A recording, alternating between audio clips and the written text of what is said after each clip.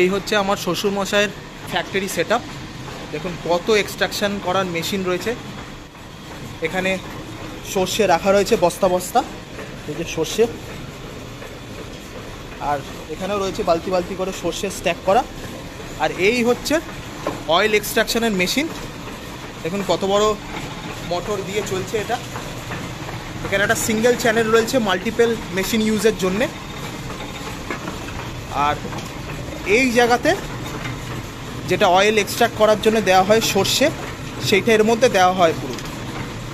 সেই পাত্র থেকে এইখানে যায়, এইখান থেকে নিচে পড়ছে, যেখানে সেডিমেন্ট হচ্ছে, আপনাকে উল্টো দিক থেকে দেখাই। এই তেল ওখান দিয়ে পড়ে, এখান দিয়ে পড়ে, এই নিচে আসছে, দিয়ে এখানে পিষে গিয়ে তেল এই কন্টেনারে জমা হচ্ছে। দেখুন, একদম পিওর মাস্টার্ড অয়েল পিওর সর্ষের তেল। একটা একটা করে পড়ছে, দেখুন ড্রপস পিষে পিষে। এগুলো ওয়েটস লাগানো আছে ওয়েটসের মধ্যে পিষছে, পিষে এই নিচে পড়ছে। দিয়ে তারপরে সেই তেল অ্যাকুমুলেট করে এরকম টিনে ফিল করা হচ্ছে। এখন এই এই ড্রামটা ভরা হবে।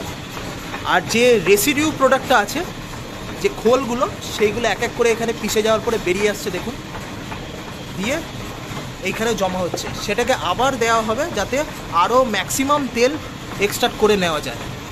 এই বোলটাতে ফিল হবে, তারপরে আবার দেওয়া হবে। আর এখানে দেখুন, এই বেল্টের সাহায্যে মোটর চলছে। এই যে মোটর, বিশাল বড়।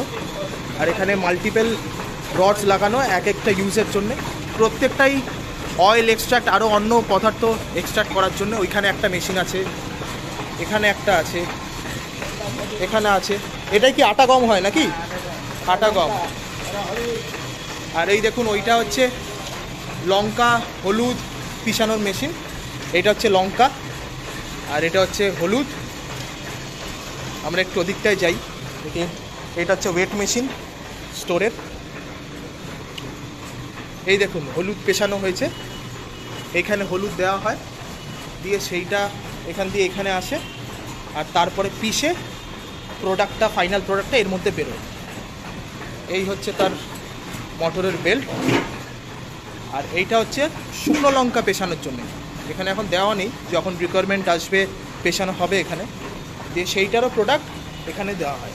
দেখুন, লাল লাল লঙ্কা পড়েও আছে। এখানে প্রচুর এরকম এক্সট্রাকশনের মেশিন রয়েছে। এই ফ্যাক্টরিতে হ্যাঁ কি বলছো? কোনটা ওই চাল ভাঙানোর? ও আচ্ছা ডাল ভাঙানোর। কোনটা দিয়ে করা হয়? ওইটা? হ্যাঁ ও ওই প্রথমটা হচ্ছে ডাল ভাঙানোর জন্য। মানে ডাল ভাঙানো বলতে কি করা হয়? খোলো শুলো ছাড়ানো? খালি আচ্ছা আচ্ছা আচ্ছা। আর এই হচ্ছে আয়ুব কাকু।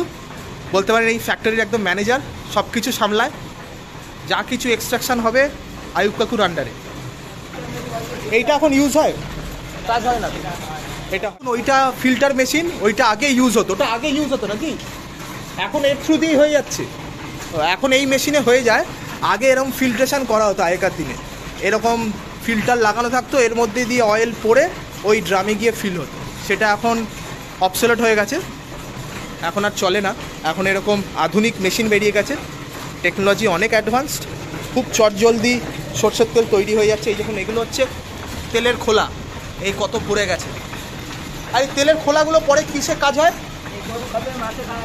ও, এগুলো মাছ, গরু, এসবের পশু পাখির জন্য খাবার, তেলের খোলা দিয়ে।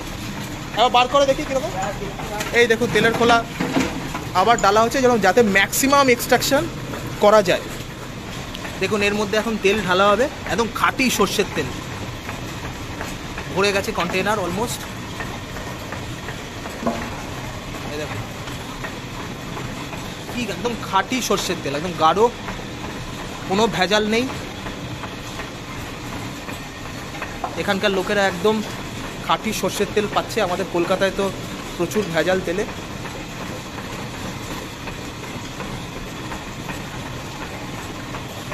দেখুন কত গাঢ়।